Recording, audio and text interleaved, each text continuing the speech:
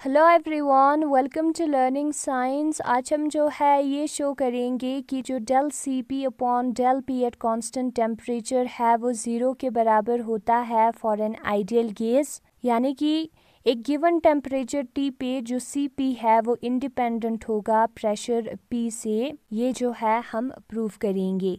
तो solution del C P upon del P at constant temperature जो है वो बराबर होता है minus T del square V upon del T square at constant pressure और उसको हम इक्वेशन नंबर फ़र्स्ट कंसिडर करेंगे।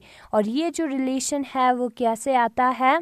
सबसे पहले हमें जो है, क्या करना है? जो इंट्रोपी है, उसको with respect to pressure partially differentiate करना है। ठीक है?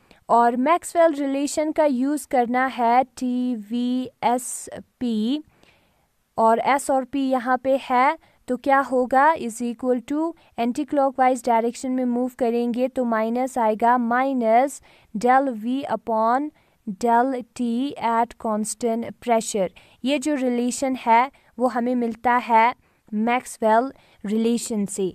ठीक है, यहाँ पे इंट्रोपी को हमें with respect to pressure partially differentiate करना है। ये जो रिलेशन है इक्वेशन है, उसको निकालने के लिए। फिर उसके बाद क्या करेंगे? इस इक्वेशन को हम पार्शली डिफ्रेंशिएट करेंगे विथ रिस्पेक्ट टू टेम्परेचर तो del upon del T del S upon del P at constant temperature is equal to minus del upon del T del V upon del T at constant pressure आएगा। ठीक है? फिर उसके बाद हम क्या करेंगे? फिर उसके बाद डेल स्क्वायर एस आएगा, इसको जब हम सॉल्व करेंगे divided by del T into del P जो है, वो हमें मिलेगा। Is equal to minus del into del del square V upon del T square at constant pressure जो है वो हमें मिलेगा। और हमें एक फॉर्मूला पता है del F upon del X into del Y जो है, वो बराबर होता है del F upon del Y into del X के। इन दोनों को हम इंटरचेंज कर सकते हैं। तो यहाँ पे हम करेंगे del square S upon del P into del T वो बराबर होगा minus del square V upon del T square at constant pressure के, ठीक है? इसको हम जो है खोल के लिख सकते हैं, लिखेंगे del upon del P bracket के अंदर हम लिखेंगे del S upon del T at constant pressure और बाहर आएगा temperature is equal to minus del square V upon del T square at constant pressure ठीक है? यहाँ पे अगर हम इसको अलग करके लिखेंगे तो सबसे पहले डेल अपॉन डेल पी आएगा, फिर ब्रैकेट के अंदर del S upon del T आएगा। जब हम एस को with respect to temperature partially differentiate करेंगे, तब प्रेशर कांस्टेंट होगा। और ये जो होल है, उसको जब विथ रिस्पेक्ट टू प्रेशर हम पार्शली डिफ्रेंशिएट करेंगे, तब टेम्परेचर जो है, वो कांस्टेंट होगा। ठीक है? फिर उसके बाद हमें क्या करना है?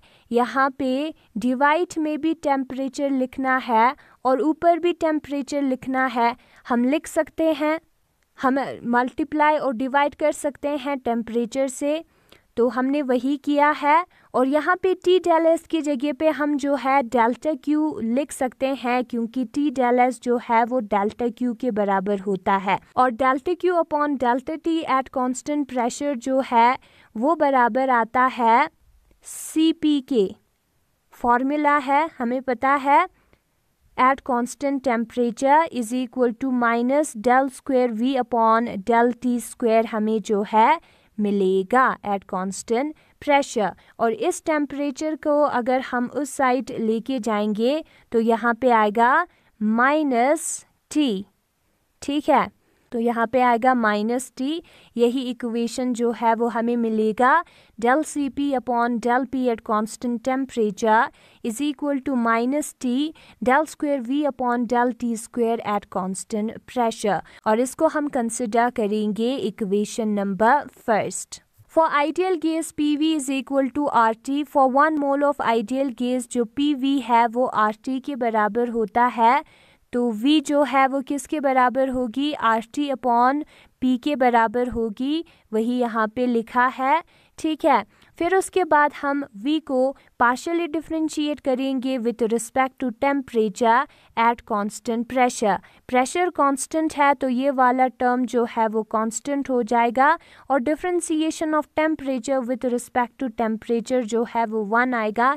इनटू वन नहीं लिखेंगे तो भी चलेगा. फिर उसके बाद हम इस इक्वेशन को फिर से एक बार पार्शली डिफ्रेंशिएट करेंगे और इसको जब हम फिर से एक बार पार्शली डिफ्रेंशिएट करेंगे with respect to temperature at constant pressure तो हमें जो है, इस टर्म को फिर से एक बार पार्शली डिफ्रेंशिएट करना होगा with respect to temperature since R और पी दोनों जो है, वो कांस्टेंट है तो differentiation of this term this constant with respect to temperature जो है, वो ज़ीरो आएगा और ये हमारा है equation number second using equation second and equation first we get और इस वैल्यू को हम पुट करेंगे इक्वेशन नंबर फ़र्स्ट में which is zero T into zero minus T into zero जो है वो होता है ज़ीरो तो del C P upon del P at constant temperature जो है वो ज़ीरो के बराबर आएगा. यानी कि for a given temperature T एक दिए गए टेम्परेचर टी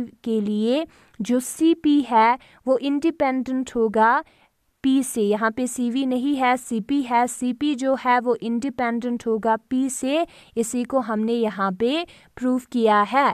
अगर आपको ये वीडियो पसंद आया तो इस वीडियो को लाइक करें और लर्निंग साइंस को सब्सक्राइब करें। Thanks for watching